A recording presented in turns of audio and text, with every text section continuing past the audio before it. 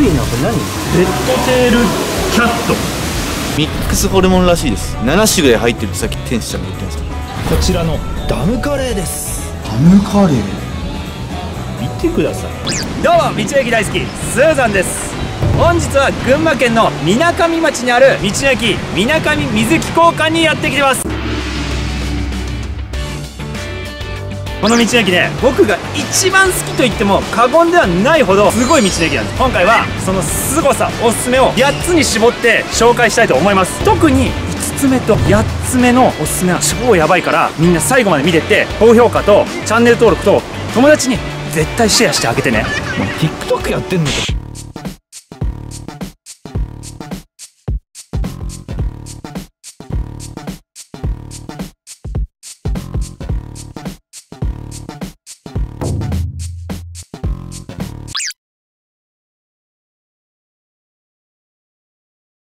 まず1つ目のおすすめポイントこちら。道の駅の横を流れる利根川です。あめっちゃ気持ちいい。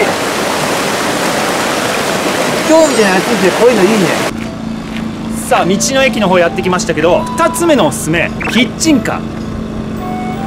今日はね丸福ホルモンなんてどうですか？ホルモンいいな。すみません。はーいじゃあホルモンの並盛り1つ。波より一つ。お願いします。楽しみだな。めちゃめちゃホルモン好きだしね。う。夏空の下でホルモン食べたい俺は。んいいね。ホルモン届きました。ミックスホルモンらしいです。7種ぐらい入ってるってさっき天使ちゃんが言ってました。カリスマホルモン社長って書いてあります。自分で言ってましたけカリホル社長です。ど カリフォルニアみたいに。白餅とかレバーとかいっぱい入ってるんで豪快にちょっといきたいと思います部位分からんけどうん。贅沢食いやね。これねキッチンカー初めてやから楽しみなんよな。いただきます。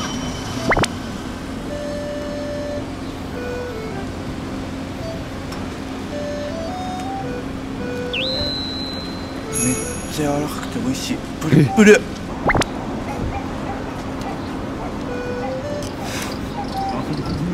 美味しいねこれ。これうまかろう？まかやろ群馬のやつ。九州弁で話しかけないすごいいいねキッチンカーって。ここねキッチンカー結構ね常駐してて土日とかはもっとねキッチンカーの台数も多かったりとか子供向けのイベントとかもやってたりしててそういうところもおすすめなんだよね。3つ目のおすすめなんだけど直売所。この中に俺が日本一美味しいって言えるあれがあるんでおお。そんですぐ売り切れちゃうから早速買いに行こう。これこれこれこれ。この温泉まんじゅうマジ日本一美味しい。スーザン。丸福ホルモンってさっきのやつだねこのね店内でも売ってるみたいなんですよ。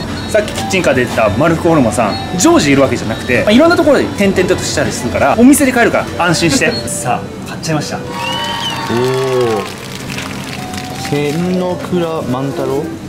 そうこれがね生地に寒天とか練り込まれててめちゃめちゃ美味しい。俺あのまんじゅうあんま好きじゃないんだよ。もみじまんじゅうとひよこまんじゅうしか食わんのよ。これはほんとちょっとな確信走ると思うんだけどな。じゃあ早速ね僕は食べたいと思います。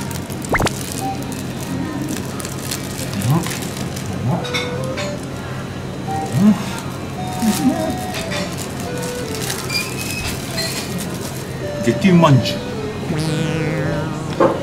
分かった。ゲティまんじゅうゲティまんじゅうやめろよ。ゲティまんじゅう男性以外にもまんじゅう得意じゃない人いると思うんだけどせっかくだから。4つ目のおすすめ。すぐそこに。食堂があるんだけど。見た目も面白いあるものが食べられるんですよ。こちらのダムカレーです。ハムカレー。見てください。まるでねダムの水をせき止めているように見えるでしょ？なるほどね。いつも言うダムを崩壊させるってやつか。業界で有名な宮島咲さんの協力を得てダムの形にこだわるためにお皿とか形っていうのを吟味してこの形になったそうですよ。へえダム決壊式。崩壊じゃ。ードドドドドドドドドド俺俺下手くそ？俺下手くそ？あえ？俺下手くそ？あれあれたくそダムが。でっ以上。うわーすごい。わー。わ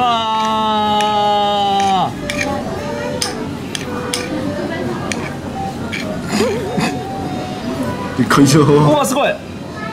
うわ流れた。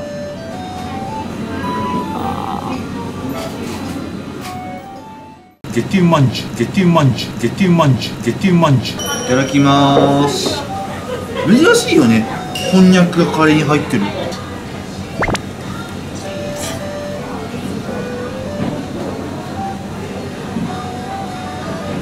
味は美味しい。俺から言わせたらちょっと辛いね。少しスパイシーな感じ。食べた具材がまずこんにゃく。柔らかい。多分なんか牛すね肉みたいな。トロトロ。とにかくカレーとして美味しいと思う。おすすめポイントその5です。水産学習館がすごい。水族館みたいな感じなんだけどすぐそこに利根川が流れてるでしょ。それのお勉強もできるっていうね。めっちゃいいやん。あじゃあ早速入っていきたいと思います。楽しみやな。お早速お魚さんいますよ。かわいいね。あ邪魔邪魔邪魔邪魔。見てスーさんすっげえちっちゃいのいる。可愛くない？かわいいこれ。えすごい。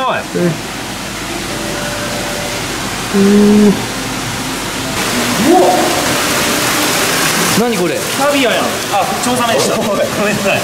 卵で言うなよ。あいいね。すごいよだって。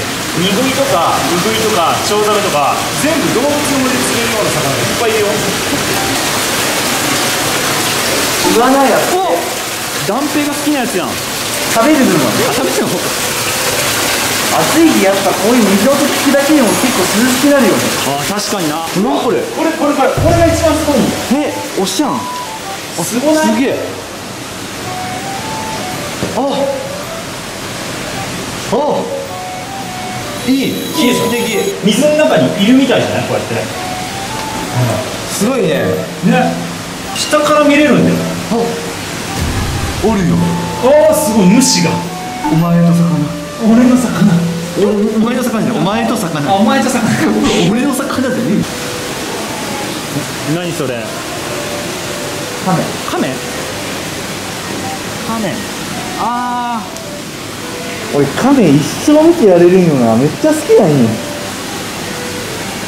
あ鴨川シーワールドで一番好きなやつなんだっウミガメ。けいねえよ あの入り口にちょこんといるやつ好きなんだ。俺あそこに20分ぐらいいるから。いねえよそんなやつ見て見て見てなんかめずいなこれ何？レッドテールキャット。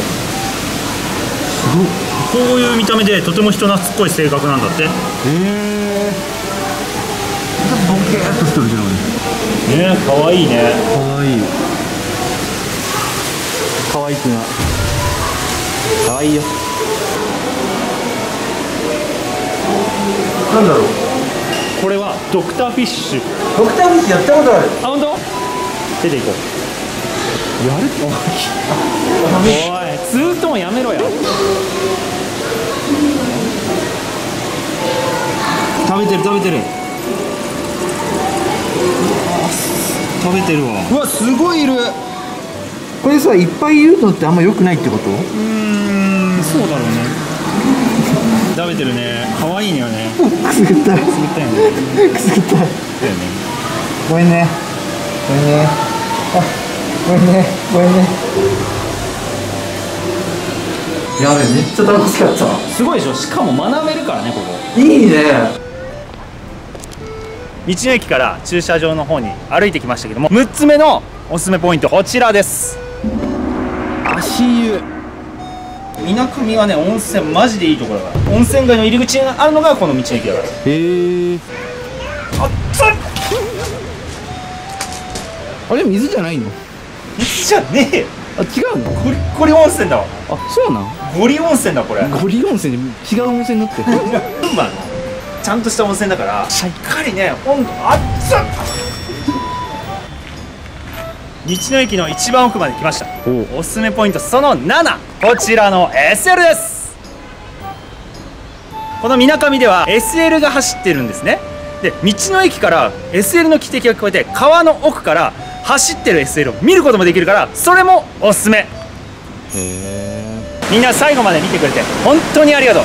最後に8つ目のおすすめ紹介するよ。ここの道の駅周辺の観光スポット。まず一つにここ水上温泉の入り口にある道の駅なんだけど。この水上温泉もめっちゃ気持ちいい僕が過去に出したおすすめの観光スポット併設の宿勝文っていう水上温泉の宿がある。んだけどここだと日本酒とか焼酎とか飲み放題でお風呂を貸し切りで入る。こともできる。のあとこの近くに谷川岳っていうハイキングもできるすごい有名な山もあってその近くにはドアイ駅っていう日本一のモグラ駅があるのね。モグラ駅って駅からホームまでの距離がめちゃくちゃ長い。地下に地下にどんどん下っていって何キロも下った先にホームがあるっていう超変わった駅がある他にも大トロ牛乳っていう超おしゃれなスイーツもあるからそれもおすすめ。はい。